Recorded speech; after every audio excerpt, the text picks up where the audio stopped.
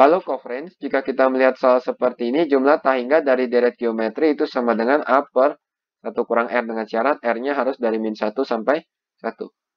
A adalah suku pertama dan R adalah rasio. 18 berarti sini sama dengan A per 1 dikurang 1 per, ini 2 per 3 ya.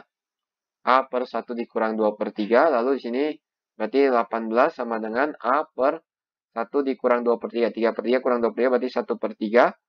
18 dikalikan dengan 1 per 3 sama dengan A, maka A sama dengan 18 bagi 3, 6. Jawabannya adalah yang E.